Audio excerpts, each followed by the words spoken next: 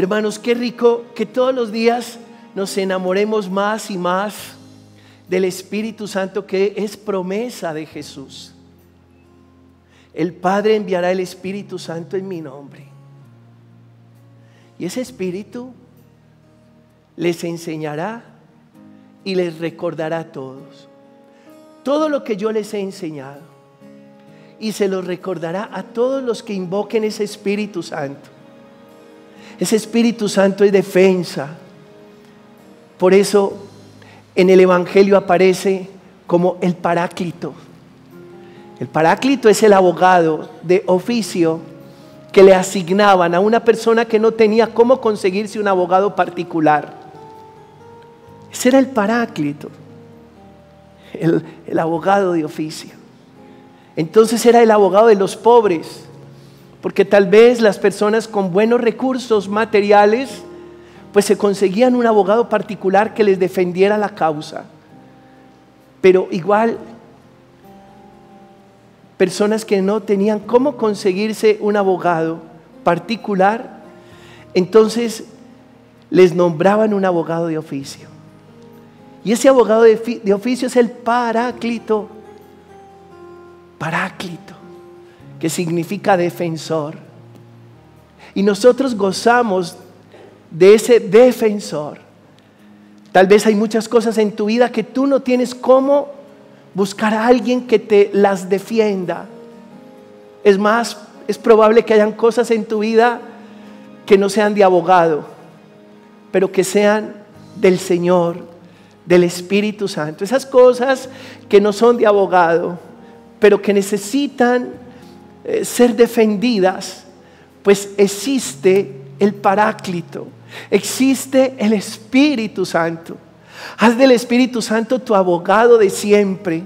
En todo momento dile que te defienda. ¿Por qué? Porque tú siempre estarás amenazado por, por enemigos espirituales y también por enemigos materiales. Y no es para, cuando te digo esto, no pretendo que te vuelvas paranoico y con delirio de persecución creyendo que todo es una amenaza espiritual y que todo es un enemigo material. No, no. No se trata de, alimentar la paranoia de nadie. No, señores. Se trata de reconocer que hay enemigos espirituales y materiales. Y que existe el Espíritu del Padre y del Hijo. Y ese Espíritu del Padre y del Hijo es nuestra defensa, es nuestro abogado. En estos días conversando con alguien me decía, Padre, mm, comencé mi proceso de divorcio y he sentido tantos ataques. He sentido que mucha gente se ha confabulado en contra mía. Pero también he sentido, Padre, los consuelos de Dios. La bendición de Dios en muchas de estas eh, cosas que tengo que solucionar. Y es cierto, hermanos. Creo que nosotros nos movemos entre las presiones y los ataques del mundo y las consolaciones de Dios. Eso es muy importante saberlo. Sí. Las tribulaciones del mundo, las consolaciones de Dios. Y entre las consolaciones de Dios está en primer lugar, en primera plana, en el primer renglón, el Espíritu Santo, que viene a defenderte y que viene a consolarte. Dile al Espíritu Santo en esta noche que sea tu defensor y tu consuelo.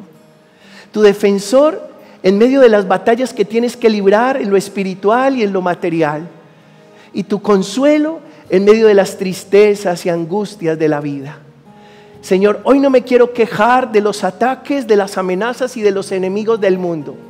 Hoy quiero fijar la atención en los consuelos que me vienen de ti y el primer consuelo que me viene de ti es tu Santo Espíritu. Dame de tu Santo Espíritu todos los días. Dame de tu Santo Espíritu día y noche. Dame de tu Santo Espíritu en todo momento y en todo lugar. Dame de tu Santo Espíritu para que mi alma no se entristezca y para que el maligno no le gane la batalla a mi corazón, que quiere siempre el bien, que tú y solo tú sabes dar. Dame de tu Espíritu Santo para que ese Espíritu me guíe, me conduzca, me oriente. Dame de tu Espíritu Santo para que ese Espíritu me enseñe, me recuerde. Dame de tu Espíritu Santo para que yo sea puesto en la verdad. Dame de tu Espíritu Santo para que yo sea reconciliado conmigo, con los hermanos, con la creación y contigo. Dame de tu Espíritu Santo, Señor. Todos, Señor, dame de tu Espíritu.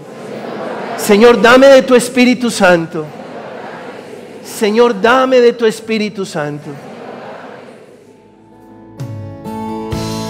La noche de mayo queremos honrar a María, nuestra madre, la mamá de Jesús.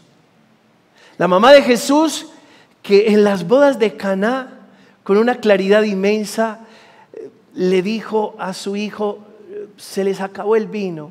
Y su hijo le respondió, madre, y eso no tiene nada que ver con nosotros, mi hora no ha llegado. Y sin embargo la madre insiste y, y le dice a los sirvientes, hagan lo que él les diga.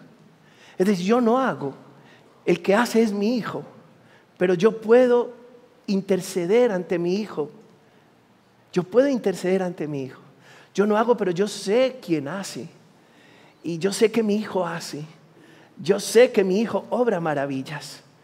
Y hoy le queremos dar gracias a María porque nos ha mostrado a Jesús, nos ha señalado quién es el que hace. Nos ha señalado quién es el que hace. Y honremos en esta noche a la Santísima Virgen María, la Madre de Jesús, pero también nuestra Madre, porque cuando Jesús estaba en la cruz, le dijo a Juan, Juan, llévate a mi mamá a tu casa, no la dejes sola. Y Juan se llevó a María a su casa. Y como discípulo amado de Jesús, eh, se la llevó a su casa y, y desde ese entonces la iglesia toda ha recibido a María en su casa. Nosotros, la iglesia, Sabemos que María es de casa, que no la podemos dejar afuera, que no la podemos dejar sola, porque el maestro nos lo pidió. Se lo pidió a Juan y pidiéndoselo a Juan, nos lo pidió a todos los discípulos de todos los tiempos, los discípulos de ayer, de hoy, a los discípulos de mañana. No le creas a nadie cuando te diga que, que idolatras a María. No le creas a nadie cuando te diga que María no es importante. Nosotros no idolatramos a María, simplemente reconocemos que ella es la mamá de nuestro amado Jesús. Y reconocemos que ella es la madre, la madre de la iglesia. Y que la iglesia sin María está incompleta. Así que sintámonos muy orgullosos en esta noche de oración en la que encomendamos nuestras mamás de tener a María como madre. Alguien diga amén.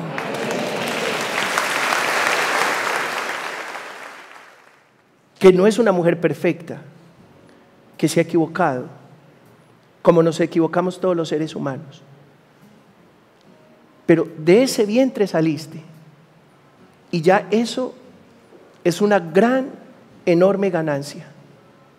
Así que, pensando en la mamá, cada uno ore por su mamá en esta noche. Ore por la mamá. Y dígale a Dios, Dios, gracias por mamá ella tiene errores, pero tiene cosas muy lindas, cosas maravillosas, Señor. Te bendigo y te alabo por mi madre, por esa mujer maravillosa que me diste, esa mujer que me llevó en su vientre durante muchos meses, esa mujer que me amamantó, que me alimentó, esa mujer que veló por mí, esa mujer que me crió, esa mujer que me educó, esa mujer que me enseñó a amarte a ti, Señor, esa mujer que me dio valores, principios y virtudes, esa mujer que tal vez se fue, me abandonó, esa mujer que nunca respondió por mí, esa mujer que nunca fue ejemplo para mí, esa mujer que me regaló a otra persona, no importa, es la mamá, basta, es la mamá. Y hoy no es un día para hacer reclamos ni recriminaciones, simplemente es para decirle al Señor, Señor, gracias por mi madre. ¿Cómo vas a decir? Señor, gracias por mi madre. Cierra tus ojos y ayúdame a orar. Ayúdame a orar en esta noche. Primero, por las mamás adolescentes y jóvenes. Señor, te pido en esta noche por esos vientres adolescentes y jóvenes que hoy son portadores de la vida.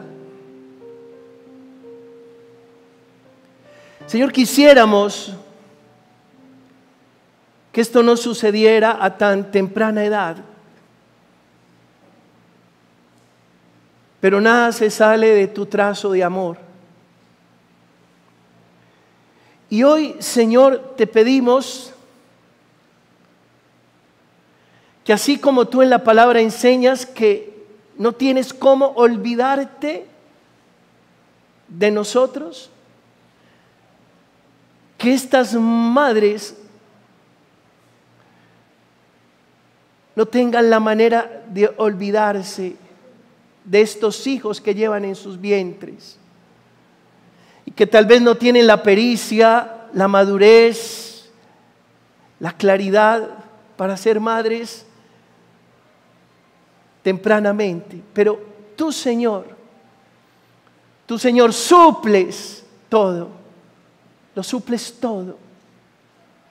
Y te pedimos por esas madres adolescentes y jóvenes, tal vez en esta noche o en este día han estado recibiendo esa noticia de que van a ser mamás y están asustadas y están aterrorizadas y están preocupadas y no saben qué camino tomar. Señor, te pido el auxilio de tu infinito amor en este momento para esas madres, adolescentes y jóvenes te pido una gracia especial para ellas. En este momento, Señor, te necesitas más que nunca. Tal vez eh, desde el punto de vista humano, allí hay una irresponsabilidad, pero desde el punto de vista salvífico, la vida siempre es un misterio, un regalo, un don una extraordinaria noticia. Sopla con la fuerza de tu amor sobre esas mujercitas que hoy ya son mamás y que aún son adolescentes o tal vez muy jóvenes. Y te pido, Señor, en esta noche que toques esas vidas y que por ningún motivo estas jovencitas tomen una decisión equivocada que sepan que el vientre es la cuna de la vida, que el vientre no puede ser una tumba, que el vientre es la cuna de la vida. También te pido, Señor, en esta noche, por las mamás que son cabeza de hogar o que han quedado viudas, que ellas no se sientan solas, que sepan que tú estás con ellas, porque tú eres el padre de huérfanos y el esposo de viudas. Señor, bendice estas mamás que son cabeza de hogar, que tal vez los padres de sus hijos ya no están o se han marchado o han tomado la decisión de irse a otro lugar o de no querer ser responsables de la vida de esos hijos. Que seas tú, Señor, que seas tú el papá de esos niños y que seas tú el esposo de esas mujeres. Que ellas sientan tu compañía, tu fuerza, tu ayuda tu patrocinio y tu aval incondicional. Te pido también, Señor, en esta noche, por las mamás que no pueden estar en casa y que tienen que invertir su día, su tiempo y parte incluso de su noche en el mundo laboral y profesional. Dale la sensatez, la sabiduría para saber buscar los tiempos oportunos para alimentar espiritualmente la vida de sus hijos, para estar con sus hijos en la medida de las posibilidades lo más que puedan. Te pido, Señor, por las mamás que están en prisión, que son víctimas de la guerra, que son víctimas de la pobreza de ciertas naciones y que tienen que emigrar a otros lugares con sus hijos sin saber qué les espera. Te pido por las mamás secuestradas, desaparecidas, por las mamás que no pueden estar al lado de sus hijos por distintas situaciones. Dales la valentía y la fuerza para no desmayar, para poner toda su confianza y su esperanza en ti, Señor. Te pido, Señor, por las mamás que están siempre en casa, Dales la sapiencia y la capacidad de hacer buen uso del tiempo para acompañar y educar sus hijos con una presencia que no sea simplemente presencia física, sino que sea una presencia también espiritual, emocional, integral. Señor, te pido por las mamás que son presas de la delincuencia, porque hay mamás que también son delincuentes. Que se derrame sobre ellas, Señor, tu compasión y tu misericordia. Toca esas vidas, endereza esos caminos, Señor. Te pido por esas mamás que no dan buen ejemplo a sus hijos, que se convierten en motivo de escándalo para sus hijos, Señor. Toca esas vidas. Derrama tu misericordia, tu compasión. Te pido, Señor, por las mamás que están enfermas. Tú eres el médico del cuerpo y del alma. Señor, ¿cuánto sufre una mamá enferma porque sabe que no puede estar al 100% en la vida de sus hijos y cuánto sufren esos hijos al ver a su mamá con dificultades de salud. Pasa sanando, Señor, esas madres enfermas. Cura sus heridas, venda sus corazones. Señor, te pido por las mamás que aún están en sus hogares vivas, Gracias Señor por las madres que aún están acompañando a sus hijos. Unas jóvenes, otras ancianas. Gracias Señor. Porque qué rico es tener la mamá y cuánto disfrutamos de ellas. Y te pido por los hijos para que sepamos valorar ese momento que tenemos aún la mamá a nuestro lado. Bendice Señor esas madres y regálales la gratitud de sus hijos. Porque la gratitud de un hijo es un regalo grandioso para una madre. Señor, te pido por las mamás ancianas y olvidadas. Señor, danos a todos los que somos hijos un corazón nuevo, un corazón de carne. Arranca de nosotros el corazón endurecido Danos un corazón agradecido para cuidar de esas madres ancianas que ya hicieron la tarea y que ahora necesitan del amor, del cuidado, de la protección, del respaldo de sus hijos.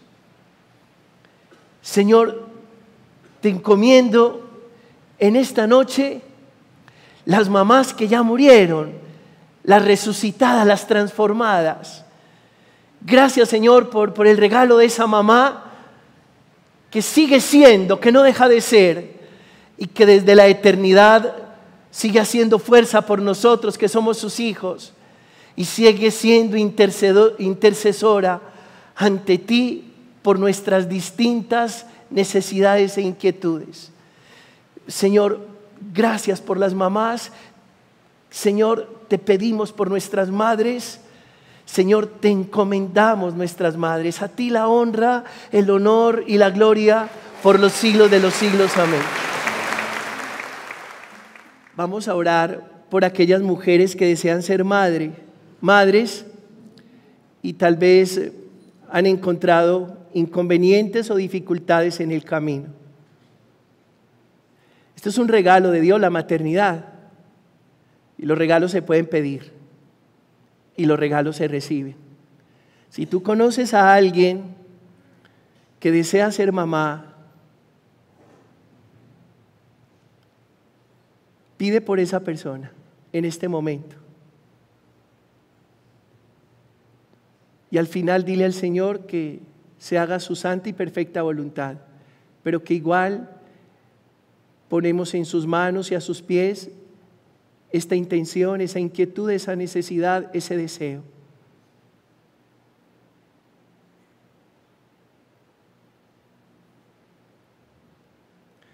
Que sea el Señor mirando con misericordia esos vientres estériles.